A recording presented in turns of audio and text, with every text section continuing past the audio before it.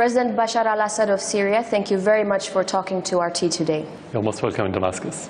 So, you know, many people were convinced a year ago that you wouldn't make it this far. But yet again, we're sitting in a newly renovated presidential palace and recording this interview.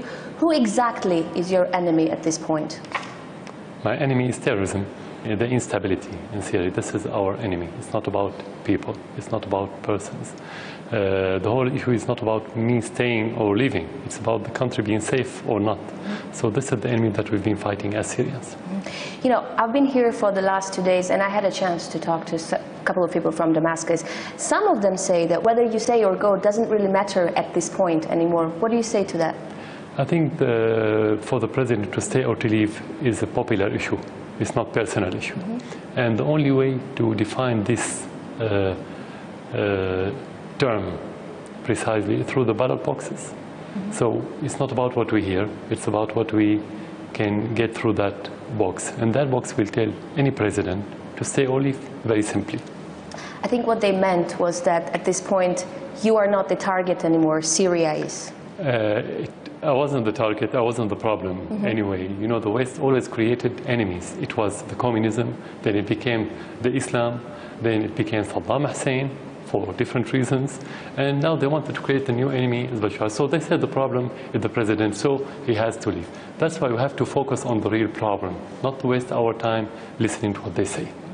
But do you personally believe, still believe, that you are the only man who can hold Syria together and the only man who can put an end what the world calls a civil war? Uh, we have to look at it from two aspects. The first aspect is the constitution, and I have my authority through the constitution. According to this, uh, to this authority and to the constitution, I have to be able to solve the problem. But if, uh, if we mean it that you don't have any other Syrian who can be president, no. Any Syrian could be president. We have many Syrians who are eligible to be in that uh, position, position. You cannot uh, uh, link the whole country only to one uh, person always. But you're fighting for your country. Do you believe that you are the man who can put end to the conflict and restore peace? I have to be the man who can do that, and I hope so. I have. But it's not about the power of the president. It's about the whole society. I have to be precise about this. President cannot do anything without institutions and without uh, support of the people. So the fight now is not president's fight. It's Syrians' fight. Every Syrian is involved in defending his country now. It is. And a lot of civilians are dying as well in the fighting. So if you were to win this war, how would you reconcile with your people after everything that has happened? Let's be, uh, again, more precise. The problem is not between me and the people. I don't have problem with the people because the United States is against me, the West is against me, many Arab countries, including Turkey, which is not Arab, of course, against me. And if the people, the Syrian people are against me, how can I be here? They're not against you. How They're can not stay here? against you. If the whole world, or let's say big part of the world, including your people against you, are you a superman? No, you're just a human being. So this is not logical. So it's not about reconciling with the people. And it's not about reconciliation between the Syrian and the Syrian. You don't have civil war. Mm-hmm. It's about terrorism and support coming from abroad to support terrorists to destabilize Syria. This is our war. You still don't believe it's a civil war because I know that there's a lot of, except for terrorism, which everyone believes takes place in Syria, there's also a lot of confession-based strife. For example, we all heard about the mother who has two sons. One son is fighting for the government forces, another one is fighting for the rebel forces. How is this not a civil war? You have division, but division doesn't mean civil war. It's completely different. Civil war should be based on ethnical problem or sectarian problem. Sometimes you may have sectarian or ethnicical tension, and tension doesn't mean problem. So if you have division in the same family or in a bigger tribe or whatever, or in the same city, it doesn't mean civil war. This is completely different, and that's normal. You, can, you, should, you should expect that. When I uh, asked about reconciling with your people, this is what I meant. I've heard you say on many different occasions that the only thing you care about is what Syrian people think of you and what Syrian people feel towards you and whether you should be a president or not. Aren't you afraid that at the end of the day, because there's been so much damage done to the country, that they won't care about the truth, but they will just blame you? Yeah, this is a hypothetical question because uh, what, what the people think is the right thing. So what they think, we have to, to ask them. But uh, I don't have this information uh, right now. So again, I'm not afraid about uh, I'm not afraid about what they think about me. I'm afraid about my country. We have to be focused on that. Okay. You know, for years, there has been so many stories about almighty Syrian army, omnipotent Syrian secret services. But then we see that, you know, the government forces aren't able to crush the enemy like people expected it would. And we see terrorist attacks take place in the middle of Damascus almost every day.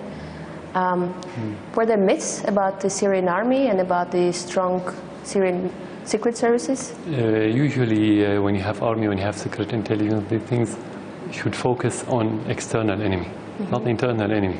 Even if you have internal, internal enemy like terrorism, uh, you have society that could help you at least not to uh, provide the terrorists with incubator. In that case, it's a new kind. We have a new kind of war. Terrorism through proxies, either Syrians living in Syria or foreigner fighters coming from abroad. So it's a new style of war. This is first. So you have to adapt with this new style. It takes time. It's not easy. Okay. And to say this is easy, as easy as a normal or let's say traditional or regular war, no. It's much more difficult. Second, the support that they've been had, that's been offered to those terrorists in every aspect, armaments, money, political, is unprecedented. So you have to expect that it's going to be tough war and difficult war. You don't say, you don't expect a small country like Syria to defeat all those countries that have been fighting us through proxies just in days or weeks. Yeah, because when you look at it, I mean, on one hand, you have one leader with the army. He tells his army, go straight, go left, go right, and the army obeys. On the other hand, you have fractions of terrorists who have no one to unify them, no unified strategy to fight you. So how does that really happen when it comes to fighting each other? This is another aspect of the problem that those uh, terrorists fighting from within the cities. In the cities, you have civilians. When you when you fight this kind of uh, terrorists, you have to be aware that you uh, you, do, you should do the minimal minimum damage to the infrastructure and minimum uh, damage to the civilians because you have civilians and you have to fight. You cannot leave terrorists just killing and destroying. So this is the difficulty in these kinds uh, of war. You know, the infrastructure, uh, military infrastructure, economy is suffering. It's almost as if like Syria is going to fall into decay very soon, and the time is against you. In your opinion, how much time do you need to crush the enemy? Uh, you cannot answer that question because no one claimed that he had the answer about when to, to, uh, to end the war, unless we have the answer when they're going to stop smuggling foreign fighters from different uh, part of this uh, world, especially the Middle East and the uh, Islamic world, and when they're going to stop sending armaments to those uh, terrorists. If they stop, this is where, you can, I, where I can answer. I can tell you in weeks we can finish everything. It's not a big problem. But as long as you have continuous supply in, in men and armaments and everything else and logistics, is going to be a long-term uh, war. Also, when you think about it, you have 4,000 kilometers of loosely controlled borders, so you have your enemy that can at any time cross over Jordan or Turkey, rearm, get medical care, and come back to fight you. Exactly. How exactly you Actually, deal with no country in the world can seal the border. Sometimes they use this word, which is not correct. Even the United States cannot seal its border with Mexico, for example. Mm-hmm. Uh, maybe the same uh, for Russia, which is a big country. So no country can seal the, uh, the border. You can only have better situation on the border when you have good relation with your neighbors. Mm-hmm. Something that we don't have, at least with Turkey now. Turkey is, uh, support uh, uh, more than any other country the smuggling of armaments and terrorists. Can I ask you something? I've been in Turkey recently, and people there are actually very worried that war will happen between Syria and Turkey. Do you think a war with Turkey is a realistic scenario? Rationally, no, I don't think in that regard, for, for two reasons. The war needs public support, and the majority of the Turkish people don't need this war. So I don't think any rational official would think about going against the will of the public in his country. The same for the Syrian people. So it's not the, the, the conflict or the difference is not between the Syrian people and the Turkish people. It's about the government and the official, between, between our official and their official because of their uh, politics. So I don't see any war between Syria and Turkey in the horizon. When is the last time you spoke to Erdogan and how did the talk end? Uh, May 2011, after he won the elections. So you just congratulated him, Yeah, just and that was that. the last time. It was the last time. Who is shelling Turkey? Uh, the government forces or the rebels? Uh, in order to, uh, to, have the, to find the answer, you need a joint committee between the two armies in order to know who shall who. Uh, because on the borders you have a lot of terrorists who have uh, mortars, so they can do the same. Uh, you have to go investigate uh, the bomb uh, itself, the place, and so on. And that didn't happen. We asked the uh, Turks, uh, the Turkish government, to have this committee. They refused. So you cannot have the answer. But when you have this terrorists on your border, you don't exclude them from doing so because the Syrian army doesn't have any order to shell the Turkish land because we don't, we don't find any interest in this and we don't have any enmity with the Turkish people. We consider them as brothers, so why to do it?